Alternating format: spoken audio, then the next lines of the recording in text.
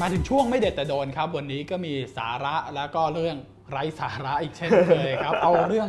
ที่แบบว่าน่าสนใจก่อนวันนี้คุณกิครับนันผมก็ให้คุณดลงค์ลองนึกจินตนาการนะครับว่าอ่าฮะมันเกิดอะไรขึ้นถ้าเกิดว่า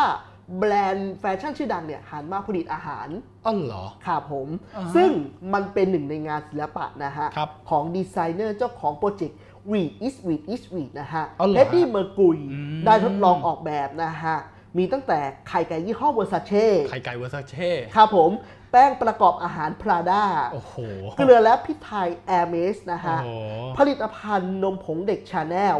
ผลไม้ส่งออกไนกี้เดี๋ยวอ่าไนกี้ผลิตผลไม้ส่งออก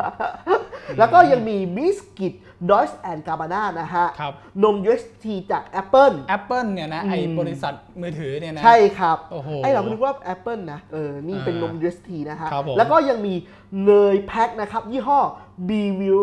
a l g a l i นะฮะครับแล้วก็มีไส้กรอกหลุยส์วิตตองอืมอาหารกระป๋องกุชชี่กุชชี่อาหารกระป๋องเนี่ยนะเออแล้วก็ยังมีพาสต้าเฟอร์รารี่นะฮะ อันนี้กินแล้วเร็วขึ้นหรือเปล่า ขับรถเร็วเอขึ้นหรือเปล่าอมันมันอาจจะรูดไวมันก็ได้มาฮะเวลากิน ดูดไวขึ้น อ่าใช่อ๋อเหรับแล้วก็ยังมีบะหมี่กึ่งสำเร็จรูปยี่ห้อเบอร์เบอรี่นะอ๋อฮะเหรอ ไม่รู้จะโอ้โหแข่งกับมาม่าหรือเปล่า อันนี้ก็ไม่ทราบเหมือนกันครับ ครับผม ของผมนี่เป็นเรื่องราวกีฬาครับกับอ่าควันหลงของศึก แคปิตอลวันครับผมอ่าอ่าที่มีการแข่งขันกันไปนะระหว่างทีมลิเวอร์พูลกับเชลซีเนี่ยอ่าทีนี้มันเกิดปัญหาขึ้นว่าเดียโก้คอสตาครับกองหน้าของเชลซีเนี่ยแกไปย่ำข้อเท้าใส่นักเตะลิเวอร์พูลจนต้องโดนแบนครับอืมแบนย้อนหลังด้วยนะโอ้โหเพราะว่า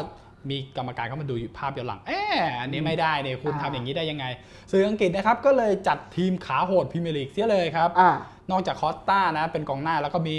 จอห์น ฟาซานูครับ อดีตครันับกเตะวิมเบิลดันก็เป็นอืมกองหน้าอีกคนหนึ่งอ่าแล้วก็มีลีแคทเทนมอลครับอ๋อปาติกเวียร่าพอสโคโจอีบาตันโอ้โหแสบแสบทั้งนั้นครับเบนแทชเชอร์ครับ มาตินคีโอนโยนัสโอซันแล้วก็เดฟแดนนี่มิลครับผมคนนี้นี่คือเป็นฮาร์ดแมนทั้งนั้นเลยครับอ่าคือบีกซ้ายบีกขวาแบ็กนะอ่ารวมทั้งโกครับ คนนี้ไม่น่าเชื่อเลยครับอ่าปีเตอร์ชไมเคิลอ๋อฮะอืมอดีตโกของทีมแมนยูเนี่ยครับอ่าแต่ว่าเขาที่เขาบอกว่า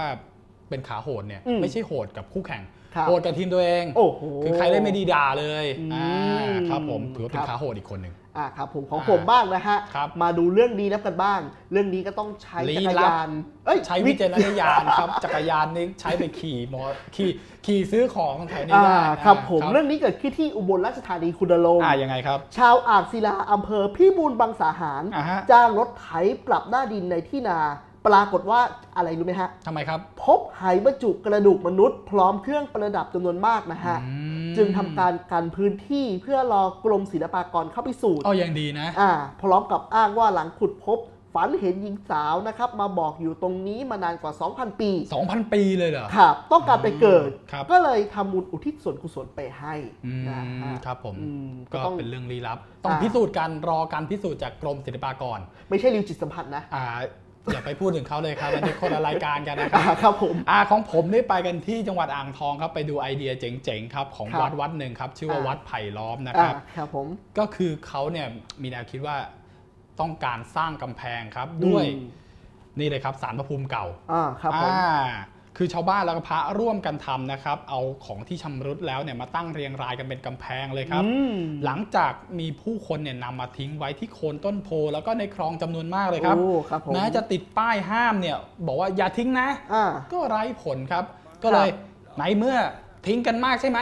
นี่เลยอืมจัดมาเป็นเป็นรั้วเลยดีกว่าอ่ามาครับตั้งเป็นผมรั้วเลยดีกว่าโอ้โหพร้อมวอนนะครับให้ญาติโยมเนี่ยถ้าอยากจะทิ้งนะอ่าไม่ต้องไปทิ้งแล้วในโคนต้นก็โคนต้นโพหรือว่าอ่าในคลองเนี่ยอืมให้มาเรียงไว้เป็นกำแพง โอ้อ่าครับผมนี่คือวิวิธีการรีไซเคิลก็จัดระเบียบกันไปนะฮะ ครับผมถือเป็นการรีไซเคิลที่ดีพอสมควรครับ ครับ และนี่ก็คือข่าวเด็ดที่เราคัดสรรมาให้คุณผู้ชมได้ชมกันนะครับ ยังมีอีกหลากหลายเรื่องราวถ้าผู้ชมคลิกอ่านได้ตลอด 24 ชั่วโมงที่ www.manager.co.th นะครับสำหรับวันนี้ สวัสดีครับ สวัสดีครับ